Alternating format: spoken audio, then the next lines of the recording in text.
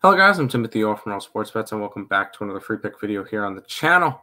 We get some MLB to talk to you guys about. We'll be looking at the Phillies and the Blue Jays playing tomorrow. Before we jump into this free pick video, if you guys are new to the channel, make sure you guys leave a like, comment, subscribe, share, do all that good stuff. We appreciate all the support. Check out all links in the description below, especially the big four right there. YouTube, twi uh, Twitter, TikTok, Instagram. Make sure you guys are following us on all four of those platforms. Really trying to grow the Earle Sports Bets brand. We appreciate everybody who does check out all of the content.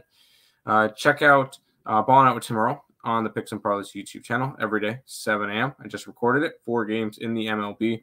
One of them is this Phillies game, but uh, you get three other plays, so make sure you guys are checking that out.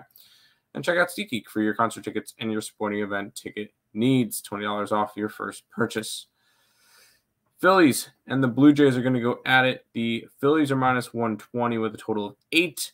And uh, I looked at this game. Uh, Wheeler and Kikuchi are going to be your pitching matchup. And I like the way that Wheeler's been pitching as of late.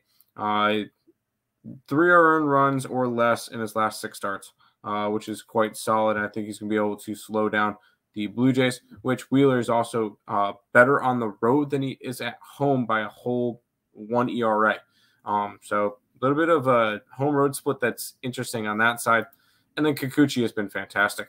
Uh, four earned runs in his last four starts combined. I'm going to take the under eight in this game. I can see a good pitcher's duel going after it. And uh, Kikuchi, patching great. Wheeler, I expect to have a good game.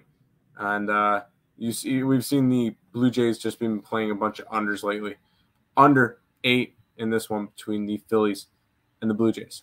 If this information was helpful to you guys at all, make sure you a like, comment, subscribe, and share. Until next time, let's make some money. Let's cash some bets in the MLB with the under in the Phillies game.